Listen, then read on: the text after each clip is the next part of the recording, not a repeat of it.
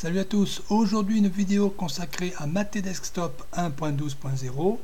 Il est sorti le 5 novembre le 6, donc euh, je l'ai fait la vidéo le lendemain de la sortie.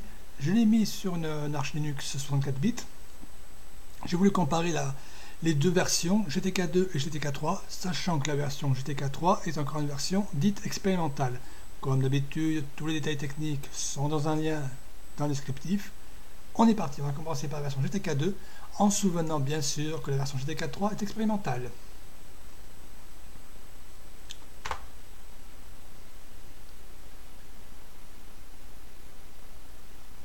Donc ça démarre.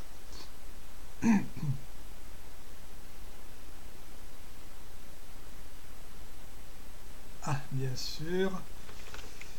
J'avais oublié de mettre en, automatique l'HDM. Dommage. Voilà. Désolé. C'est les du direct. J'aurais dû mettre en automatique le chargement de l'IDM. Bon, voilà. Nous avons l'IDM avec la session matée.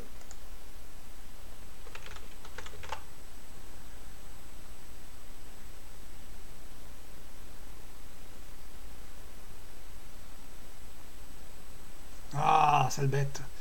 Donc, soi-disant, ce bug avait été corrigé, mais apparemment, ce n'est pas le cas. Voilà. Donc, moi, c'est moins pire parce qu'avant, il y avait tout qui était déplacé par rapport au redimensionnement automatique. Donc, nous avons Mate Desktop 1.12 avec un fond d'écran qui est quand même plus sympa que le précédent. On voit que la version GTK 2, il y a toujours ce petit problème de rafraîchissement de, c'est un menu un peu lourd.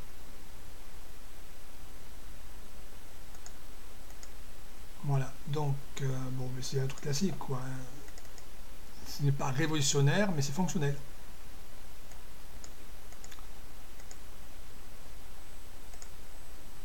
Donc, vous voyez, c'est quand même assez rapide, malgré que ce soit une machine virtuelle.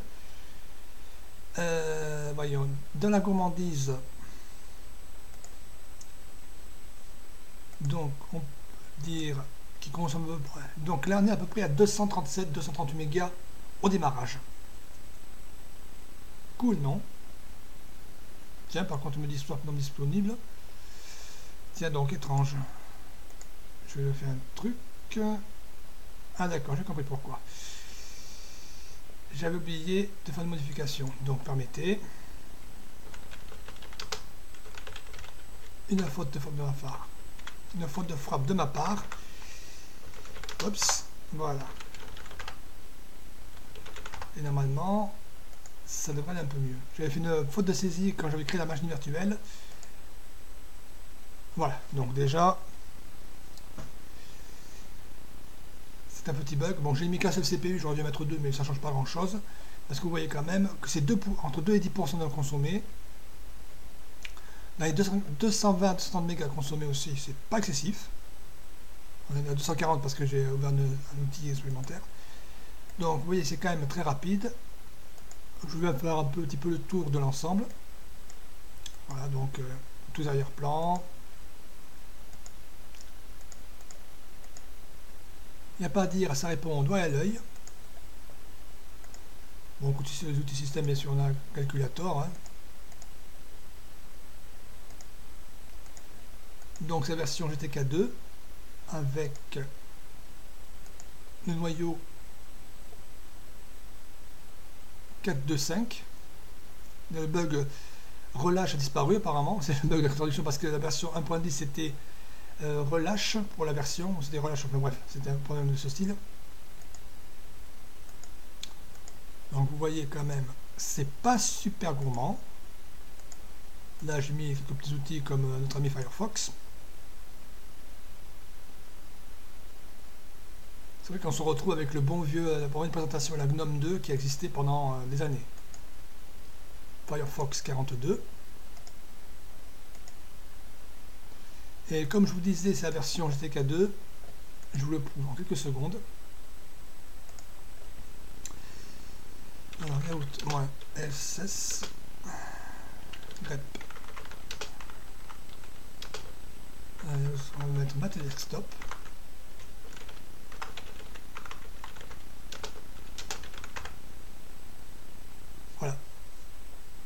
On voit que c'est marqué installed pour la version GTK 2. Donc en gros, il mange 230-240 MB au démarrage. Il est très rapide, mais il y a toujours ce, le bug, c'est le premier chargement, c'est quand même un peu long pour charger LibreOffice. Ou des menus un peu complexes, ça... En tant que ça, en tant que ça arrache un peu la falaise.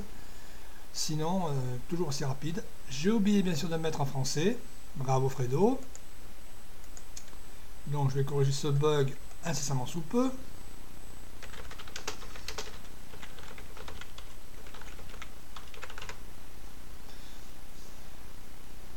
Ce sont des choses qui arrivent. J'avais mal préparé mes machines virtuelles. Ça arrive après tout. Hein. Voilà. Donc vous voyez quand même que c'est très très rapide.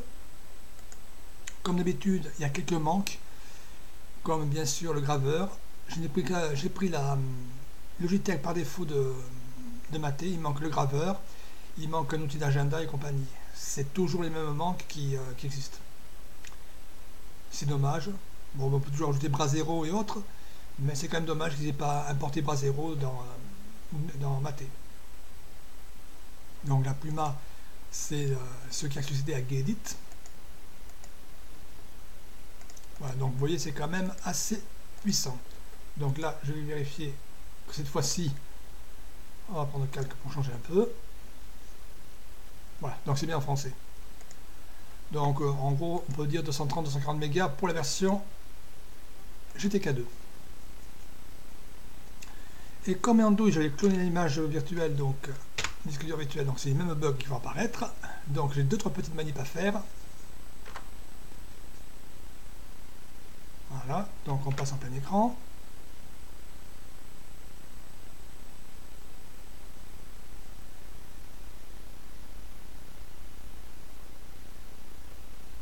Cette fois-ci, par contre, je vais activer directement notre ami euh, LightDM. Donc, au démarrage, on va voir combien il mange, déjà. Ah d'accord. J'avais pas dû le j'avais pas dû le déplacer. Donc c'est pas grave. Ça c'est le problème, c'est quand la résolution change. C'est ennuyeux. Là vous pouvez voir que les gadgets sont différents. C'est vraiment l'affichage GTK 3. Comme.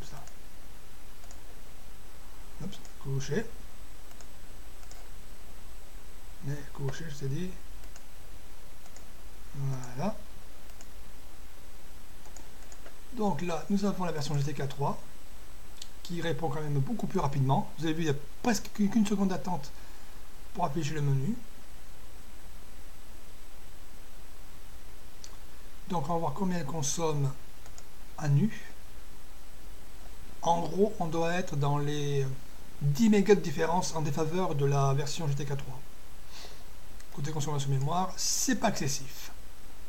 Donc là, je vais juste activer le swap pour que ça ralentisse un peu moins. Ça m'apprendra à faire gaffe quand je crée une machine virtuelle.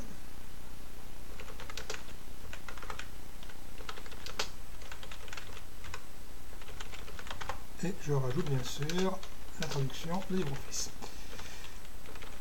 Chose qui arrive, chose qui arrive.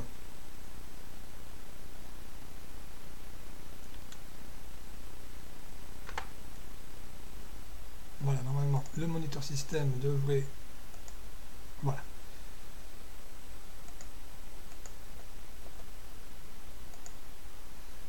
Donc, bien sûr, la présentation est toujours la même, même si l'affichage HTK3 est un peu plus euh, récent. Donc, on va voir euh, ce que nous donne euh, LibreOffice. Apparemment, c'est Writer.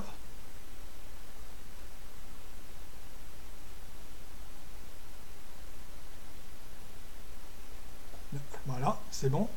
Donc là, toute la présentation un peu plus fine. GTK 3. Euh, ah, tiens, je n'ai pas mis le calculator. Autre oubli. Donc on va mettre calculator 3. Calcul 3. C'est la version GTK 3. Ah, je m'en rappelle plus du nom. calculateur, autant pour moi.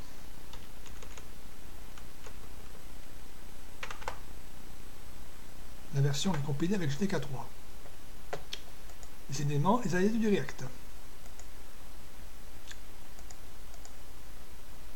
Voilà. On voit la différence entre les deux versions. Si on lance Kara, voilà.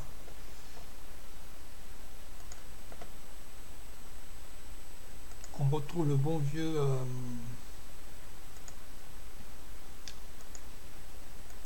Nautilus à l'époque de GNOME. Euh, donc ça, il faut bien sûr ajouter automatiquement les extensions. Donc CD audio, on va mettre... Euh, on va rajouter quelques outils pour compléter. Alors, on va mettre CD audio, on va mettre Soundtracer. Ça vous montre aussi comment ça fonctionne. Soundtracer. Euh, DVD vidéo, on va mettre euh, lib DVD CSS pour prendre en compte les DVD cryptés. GNOME Player, je sais même pas si je l'ai installé ou pas. On l'a déjà installé donc on va prendre on va prendre VLC, tiens. Peut-être qu'il passera mieux avec VLC. Et pour les photos, on va mettre Shotwell.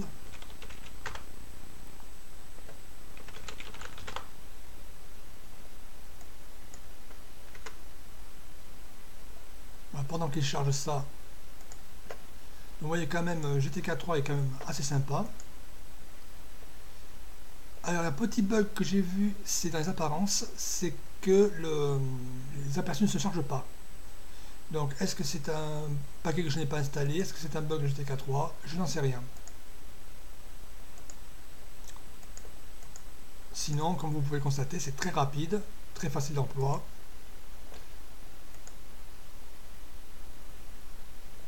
Le centre de contrôle, bien sûr, est comme dans les deux versions pareilles, n'est-ce pas? Matériel, euh, Internet réseau et compagnie. Voilà. Oups, pas ça que vous voulez faire. Les applications préférées maintenant que ça se charge. Voilà, multimédia. Ah d'accord, il y a un petit problème au niveau de... Bon, c'est peut-être un bug de la version GTK 3. J'ai pas vérifié dans la version GTK 2, mais c'est peut-être aussi un bug de la version GTK 3. Donc on va voir ça. Donc on va retourner on a un petit flash, mais ça c'est sûrement dû à, l'utilisation du circuit virtuel qui n'est pas super rapide. Préférence. Donc là on va mettre voilà. Photo, on va mettre Shotwell. Euh, baladeur audio, je ne sais pas. DVD vidéo. Voilà. Donc vous voyez déjà c'est quand même c'est un petit bug peut-être de la version GTK 3. Bref. Non mais c'est quand même très rapide. Le thème est légèrement plus euh, fin, mieux travaillé je trouve. Il y a des petits flashs, mais faut pas oublier que c'est encore une version dite expérimentale.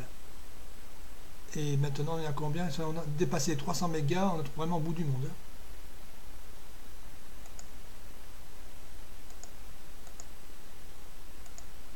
Enfin, même atteint 300 mégas. C'est vous dire s'il est gourmand.